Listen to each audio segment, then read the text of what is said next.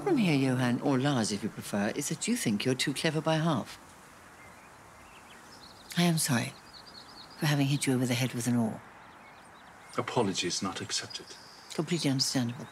May I come in? Hmm, I've got a better aim now. Oh, good. Well, if you shoot me, you won't get to hear all the clever things I have to say.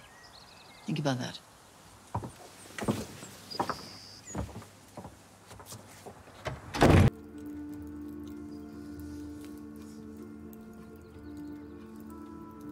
You're not like the other women. You can keep up with me.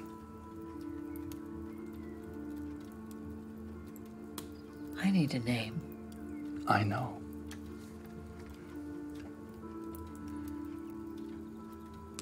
I was angry.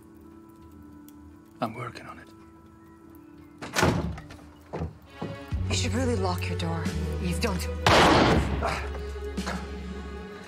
No! How does it feel?